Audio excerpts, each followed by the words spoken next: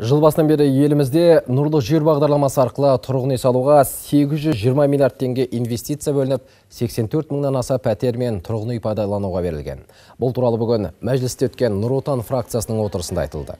Жиында депутаттар жобалық сметалық құжаттардың сапасыз әзірленуін, мемлекеттік сатып алу конкурстарының дер кезінде өткізілмеуін және өңірлердегі қаражат бөлуге кететін олқылықтардың мәселе етіп көтерді. Сосын нұрлы жол және нұрлы жер бағдарламалары бойынша 2015-2019 жылдарға қарастырылған қаражаттардың дұрыс жұмсалуына көңіл бөлу қажеттігін айтты. Жалпы соңғы 10 жыл ішінде ел аумағында 70 миллион шаршы метрден аса тұрғын үй пайдалануға берілген.